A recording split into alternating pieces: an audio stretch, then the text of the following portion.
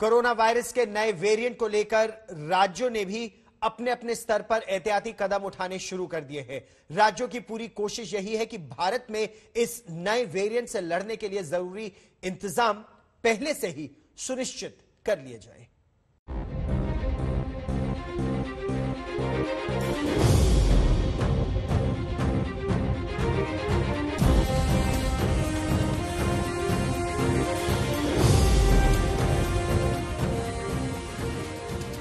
Corona के नए variant ने पूरे देश की नींद उड़ा दी है।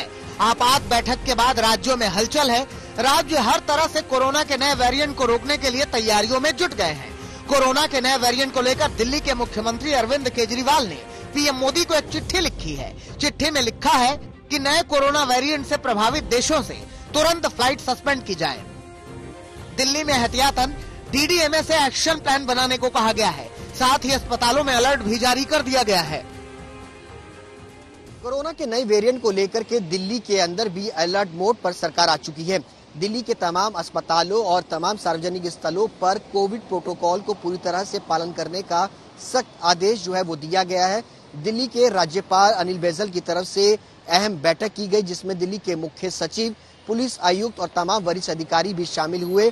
और इसके साथ साथ ये फैसला लिया गया कि तमाम जो सार्वजनिक स्थल हैं और बाज़ार हैं, उनमें कोविड नियमों का सख्ती से पालन किया जाए। इसके अलावा तमाम जो अस्पताल हैं, उनको भी अलर्ट मोड पर रहने की हिदायत जो है वो सरकार की तरफ़ से दी जा रही है। उत्तर प्रदेश की सरकार ने भी कोरोना के नए वेरिएंट पर एक्शन के मूड में है। उत्तर प्रदेश के सभी 75 जिलों में अलर्ट जारी कर दिया गया है। विदेश से आने वाले सभी यात्रियों का आरटीपीसीआर टेस्ट अनिवार्य कर दिया गया है। इस वेरिएंट को लेकर के हम लोग यहाँ भी एक मेडिकल के रूप में हम लोगों ने अलर्ट रखा हुआ है और इसी चीज़ को लेते हुए जो हमारे इंटरनेशनल ट्रैवलर्स हैं, या ऐसे ट्रैवलर्स जो इंटरनेशनली पहले किसी दूसरे डोमेस्टिक स्टेशन पे आते हैं फिर लखनऊ आ रहे हैं, इन सब चीज़ों को लेकर के आज एक इम्पोर्टेंट बैठक की गई और इसके एक प्रोटोकॉल को निर्धारित किया गया है। मध्य प्रदेश की शिवराज सरकार भी कोरोना के नए वेरिएंट को लेकर बैठक कर रही है। शिवराज सरकार ने बैठक में तय किया है कि स्कूल अब 100 फ़ीसदी क्षमता की बजाय 50 फ़ीसदी क्षमता के साथ चलेंगे। स्कूल ऑनलाइन क्लास बंद नहीं करेंगे और 1 दिसंबर को मध्य प्रदेश के सभी ऑक्सीजन प्लांट्स का मॉकड्रिल किया जाएगा। माननीय मुख्यमंत्री जी के निर्देश हैं कि जो भी इंटरनेशनल ट्रे, जो ट्रेवल करके आए हैं उनकी जो केंद्र सरकार की गाइडलाइन है उसका सख्ती के साथ पालन हो। केंद्र सरकार ने जो जो हमें निर्देश दिए हैं उसका हम पूरी सख्ती के साथ पालन कर रहे हैं। हम ये सुनिश्चित कर रहे हैं कि हम किसी भी तरह कोरोना की गति को बढ़ने ना दें। गुजरात और झारखंड की तरफ़ से भी कहा गया है कि वो नए वेरिएंट को लेकर तैयार हैं। हर तरह के इंतज़ाम किए गए हैं।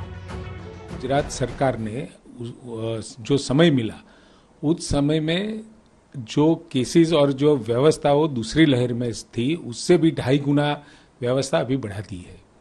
ऑक्सीजन की बात हो, ऑक्सीजन बेडेड की बात हो आईसीयू की बात हो, वेंटिलेटर की बात हो, अभी ये तीसरी भी आवे, चौथी भी आवे आ जावे कि पांचवी भी आवे। यहाँ पर कोई फ़र्क पड़ने वाला नहीं है। तो ये निश्चित तौर पर पहले जान है, तब जहान है। तो जब जान बचेगी, तभी जहान रहेगा। तो जहान को बचाने के लिए, जान को बचाने की आवश्यकता है। इसलिए निश्चित तौर पर लोगों को जो है दो गज दूरी मास्क ज़रूरी और जो आईसीएमआर के गाइडलाइन है डब्ल्यूएचओ के गाइडलाइन है, या हमको खुद में भी हमको जो है अवेयरनेस लाने की ज़रूरत है तो इसको लेकर प्रधानमंत्री जी को व्यापक रणनीति बनाने की आवश्यकता है।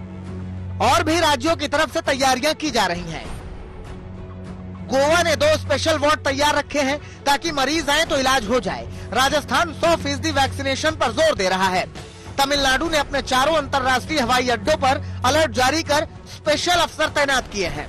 दक्षिण अफ्रीका से आने वालों को क्वारंटीन रहना होगा। केरल और गुजरात ने भी आरटीपीसीआर टेस्ट ज़रूरी कर दिया है। कर्नाटक में एयरपोर्ट पर आरटीपीसीआर टेस्ट ज़रूरी होगा। सार्वजनिक कार्यक्रम स्थगित कर दिए गए हैं। महाराष्ट्र की उद्धव सरकार ने भी कोविड के नए वेरिएंट को लेकर बैठक की। यहाँ पहले से ही एहतियाती कदम उठाने के आदेश दिए गए हैं।